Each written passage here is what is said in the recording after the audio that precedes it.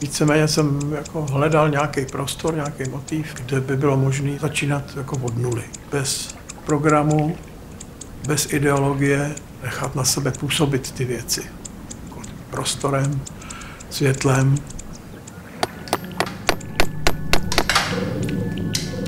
Pigmenty jsem začal sbírat v Itálii, vlastně na Elbě a tam je ta geologická souvislost, že to jde jako na pevninu, přechází ty žíly a je to strašně pestrý.